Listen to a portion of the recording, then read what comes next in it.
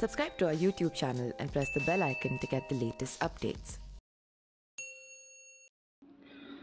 नमस्कार, मेरा नाम पिंटू सिंह यादव है और आप देखना शुरू कर चुके हैं न्यूज़ लाइव दोस्तों 2024 को लेकर जैसे कि मैंने आपको बताया कि उत्तर प्रदेश में जो सियासी तैयारियाँ हैं, वो शुरू हो चुकी है और इसमें सबसे ज़्यादा आगे अखिलेश यादव निकलते नज़र आ रहे हैं कई सारे लोकसभा सीटों की प्रभारियों को घोषित के बाद कई लोगों का टिकट कन्फर्म माना जा रहा है और इस कड़ी में मैंने आपको बताया कि जो उनके चाचा शिवपाल सिंह यादव हैं, उनका भी लगभग लगभग टिकट कंफर्म माना जा रहा है और माना ये जा रहा है कि शिवपाल सिंह जो यादव हैं, वो फिरोजाबाद लोकसभा सीट से 2024 का चुनाव लड़ सकते हैं।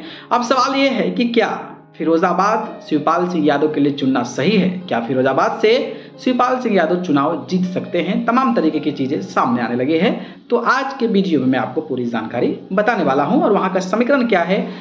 शिवपाल सिंह यादव उस सीट को जीत पाएँगे या नहीं, ये भी मैं आपको बताऊँगा। तो मैं चार वर्षों का आंकड़ा लेता हूँ। पहला लेता हूँ 2009 का आंकड़ा। 2009 के आंकड़े में आपको पता होगा कि समाजवादी पार्टी वहाँ पर जीती थी। अखिलेश यादव वहाँ से चुनाव जीते हुए थे बीएसपी के एसपी सिंह बघेल से।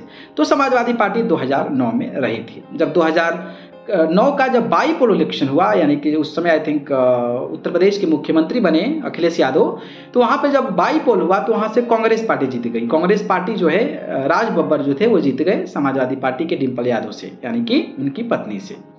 इसके अलावा जब 2014 का लोकसभा चुनाव हुआ तो 2014 के लोकसभा चुनाव में समाजवादी पार्टी के ही फैमिली के परिवार से, यानी कि अक्षय यादव ने चुनाव जीता। पाँच लाख चौंतीस हज़ार वोट पाए थे। और बीजेपी से एसपी सिंह बघेल चुनाव लड़े थे, जिनको कि चार लाख बीस हज़ार वोट मिला था। तकरीबन एक लाख से ज़्यादा वोटों से अक्षय यादव वहाँ पर चुनाव जीत गए और वो भी समाजवादी पार्टी के। लेकिन 2019 के लोकसभा चुनाव में, जबकि मोदी लहर कहा जा रहा था, यहाँ पर भारतीय जनता पार्टी डॉक्टर चंद्रसेन सिंह यादव को टिकट देती हैं और वहाँ पर अक्षय यादव फिर से समाजवादी पार्टी से चुनाव लड़ते हैं। हालाँकि अक्षय वहाँ पर चुनाव हार जाते हैं और जो ये फासला होता है, वो बहुत कम होता है।